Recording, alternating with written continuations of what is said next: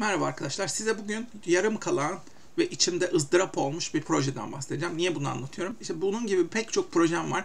Ama böyle herhalde içimde en büyük böyle derinden beni e, rahatsız eden projelerden bir tanesi Visual Paper. Bir tane ben bir metodoloji geliştirmeye çalıştım. Görsel metodoloji. Öğrencilerimden böyle bayağı bir A4 sayfa verdim onlara 250 öğrencime falan bunu yaptırmışımdır. A4 sayfada gelecek mezun olduktan sonra kariyerinizi hayal edin. Bunu görsele dökün, resim olarak çizin diye bir e, onlara egzersiz yaptırdım. Oraya istedikleri gibi bir poster çizdiler, resim çizdiler, karalama yaptılar. Ve elimde böyle bu karalamalar duruyor hala. Çok rengarenk, inanılmaz güzel şeyler çıktı. Sonra dedim ki ben bunu bir e, uluslararası konferansta falan da sundum. Bayağı ilgi de gördü. Sonra e, bunu birkaç yere gönderdim. İstediğim gibi tam metodolojisine bir türlü oturtamadım bu paper'ın. Metodolojisine oturtamadım, yoruldum, kafamdaki ideale yaklaştıramadım. Visual metodoloji ile ilgili bir sürü şeyler okumaya başladım. Cilt cilt hala duruyor hala ofisimde hatta. Bu çok doğru düzgün yapmak istediğim şeyi karşılayan metodolojiyi bulamadım. O literatürde kayboldum. Saçma sapan şeyler vardı yani. Visual yani qualitative research'te çok sağlam oturmuş metodolojiler var. Ama biz görsel datayı nasıl sınıflarız? Görsel datayı nasıl yorumlarız? Quality, kalitatif gibi gitmemiz lazım. Evet, temalar neler? İşte burada elementler neler, nasıl çizmiş, nasıl yaklaşmış, perspektifler neler? Bir şekilde bunları kategorize etmemiz lazım. Ama neye göre, nasıl? Boyutlar neler olacak? Bu boyutlara nasıl karar vereceksin? Ve de her biri bin bir türlü çizim çıkıyor. Yani 250 tane çizimim var. Her biri başka. Şimdi bunları nasıl yorumlarsın? Buradaki zenginliği, kompleksliği metne nasıl aktarırsın? Metin yaz, yazarak, akademik o kalıplara sıkışarak yapmaya çalışıyorsun. Bunu ve kualitatif, e, kalitatif yapmak zorunda kalsın, kaldığın yani kalitatif yazdığın zaman bunu bir nebze olsun bu sana esneklik sağlıyor ama yine de akademik kalıpların, kutuların içinden çıkamıyorsun. Dolayısıyla ben burada takıldım.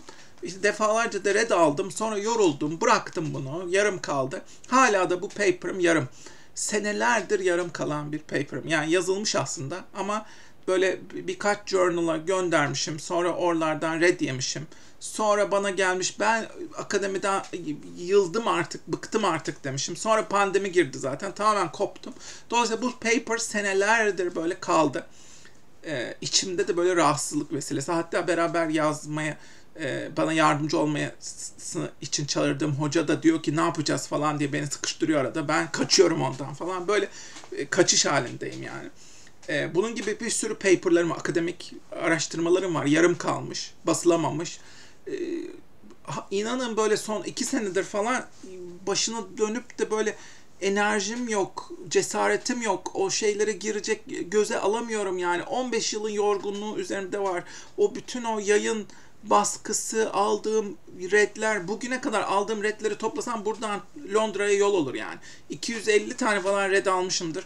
Bir 251'incisini alacak şeyi halim kalmadı gerçekten. Ee, böyle çok yorgunum yani. Onun için ha, bir türlü geri dönemedim falan. Böyle bunu niye anlattım arkadaşlar? Bu mesela içimde sıkıntı benim. Yani senelerdir e, yapmaya çalıştığım bir proje. Ta kaç sene önce başladım. Bak belki 10 sene olmuştur yani e, başlayalı, datasını toplayalı 10 sene oldu yani düşünün. 10 senedir bu benim şeyde e, kafamda. Sonra e, bunu yıllar içerisinde yavaş yavaş ilerlettim vesaire ama 10 senedir devam eder gelen bir proje ve hiçbir yere varmadı. Ben bunu bir tek konferansta sonu basamadım da böyle patlayacak içimde yani. E, ve dö- geri dönecek hevesim şeyim bir yandan var bir yan ama bir yandan da çok korkuyorum yani. E, halim yok heves yani bir yandan çok hevesliyim bir yandan hiç hevesim yok. Korkuyorum çünkü falan. Ee, doğru insanı bulamadım beraber çalışacak bu konuda. Çünkü görsel metotları e, gerçekten güvenilir şekilde, kreatif şekilde, ufuk açıcı, bambaşka literatüre katkıda bulunacak tarzda, research'te yeni ufuk açacak, paradigma değiştirecek tarzda bir şey yapmam lazım. Bu çünkü Resimleri nasıl yorumlarsın? Resimleri nasıl kategorize edersin? Resim analizini nasıl yaparsın? Doğru düzgün bu konuda doğru hiçbir literatür yok yani. Ben sevmiyorum ya da olan literatürleri. olan research yöntemlerini de sevmiyorum. Dolayısıyla burada yeni bir şey icat etmek gerekiyor. O icat şeyine de böyle akademik kutulara sokamıyorsun. Yani öyle bir e, rigorous metodoloji inşa etmek zorundasın ki şeffaf olmalı, bağımsız detaylı anlatabilmelisin bunu adım adım ve senden gelen herkes sonra bu adımları uygulayarak şeffaf şekilde benzer sonuçlara ulaşabilmeli. İşte bunu resimler için yapabilmek çok zor. Bunun yeni metodolojileri gerekiyor bence ve bu konuda ben çok idealistim. Dediğim gibi böyle bir bundan 5 sene önce falan olsa, o zamanki enerjim olsa e, belki daha hevesle böyle altını pat diye girerdim yani. Ya da 10 sene önceki halim olsa çok daha böyle cesurdum o zamanlar. Uğraşıyordum. Şimdi uğraşacak şeyim kalmadı. Böyle buraya kadar dolmuş durumdayım. Ee, bir de böyle YouTube'a daldım. işte Medium'a daldım. Başka derslerime daha güzel hale getirmeye daldım. Ee, varlık üretime başka bir sürü şeye daldım. Hayatım çok renkli hale geldi. Ama böyle research'te çok sıkıcı e, ve bazen işkence gibi gelebiliyor ve onu böyle tırnağınla kazıyarak kanaviçe gibi işleye işleye işleye seneler sürecek bir süreç yani. Ona bir daha dönesim gelmiyor ya. Yani böyle size bunu niye anlatıyorum? Sizin hayatınızda da böyle yarım kalmış projeler var mı arkadaşlar? Benim böyle yarım kalmış bir tanesini anlattım bakın size. En çok beni rahatsız eden bu bir tanesi bu olduğu için. Eee sizin böyle yarım kalan, ızdırap oluşturan, bir türlü sonuca varmıyor dediğiniz şeyler, projeleriniz var mı? Bu konularda nasıl yaklaşıyorsunuz bu konulara? Yani mesela bunu diyelim yapmayacağım, tamam rafa kaldırdım, toz, tozlandı gitti. Ölsün mü diyorsunuz bu proje kendi kendine? Yoksa böyle ara ara vicdan azabı hissediyor. Ya bunu ben niye basmadın ya? Yani bu bir potansiyel çok güzel bir şeye dönüşebilirdi. Ama sen yapmadın. Bunun getirdiği bir müthiş bir suçluluk hissi var. Çünkü bunu insanlıkla buluşturacaktın sen. Literatürle buluşturmak görevindi senin. Sanki bu göreve ihanet etmiş gibi hissediyorum.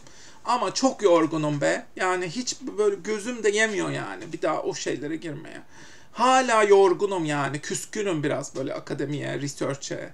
Gerçekten küskünüm, kızgınım, öfkeliyim. Yani böyle elimin tersiyle bütün bu journal'lara geçirmek istiyorum. O kadar öfkeliyim yani. Bu research dünyası tamamen kopmuş gerçek dünyadan. Herkes kariyer oyunu oynuyor. Yaptığın research'lerin %95'inin dünyaya, insanlığa hiçbir katkısı yok. Tamamen kariyer oyunu olarak araştırmacılar böyle fil dişi kulelerinde kariyer oyunları oynuyorlar. Gerçek hayata hiçbir etkisi yok hiçbir doğru düzgün bir hayat kalitesine %90'ı 95'i research'ın böyle gibi geliyor bana artık yani. Çünkü kimse okumuyor bile bu paper'ları. Basıyorsun uğraşıyorsun. Senelerce uğraşıyorsun. Ne için bu kadar uğraş yani? Kariyer ilerlemesi ise ben istemiyorum kariyerimde o tarz bir ilerleme. Ee, kariyer şeyi için yapılacak iş değil bence. İdealizmle insanlığın önünü açmak için, toplumun önünü açmak için, insandan faydası olsun diye yapmak gerekir. Evet. Ama bu konuda da ben bu, bu, buna olan inancımı kaybettim. Çünkü yapılan araştırmalar kimse okumuyor, bir işe yaramıyor. Yani böyle bir açmazdayım. Akademiyle ilgili küskünlüklerimi anlatsam zaten iki saat anlatırım. Onun için sizi yormak istemiyorum. Ama şunu söyleyeceğim. Böyle yarım kalan, sizi rahatsız eden projeleriniz var mı arkadaşlar? Bu konuda sizce ne yapmak lazım? Bunu nasıl çözmek lazım?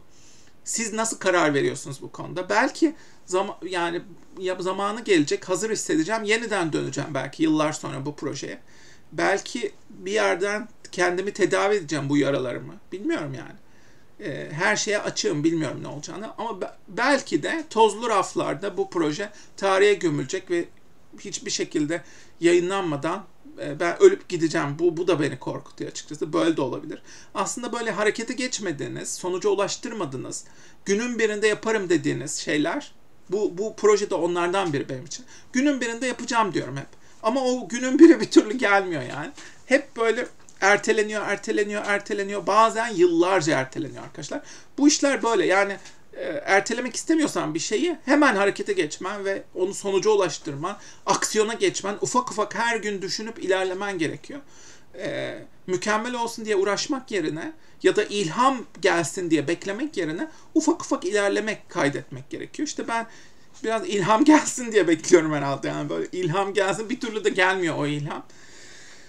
Böyle arkadaşlar sizin böyle projeleriniz var mı? Bununla nasıl başa çıkıyorsunuz? Yorumları bekliyorum. Teşekkürler.